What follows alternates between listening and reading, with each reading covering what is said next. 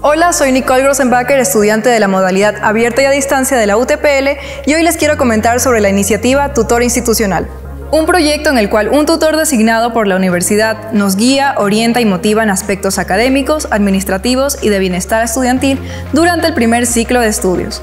De esta manera fortalecemos nuestro proyecto de vida profesional y estamos más próximos a alcanzar nuestra meta. Y tú te preguntarás, ¿cuáles son las características del acompañamiento en el proyecto tutor institucional?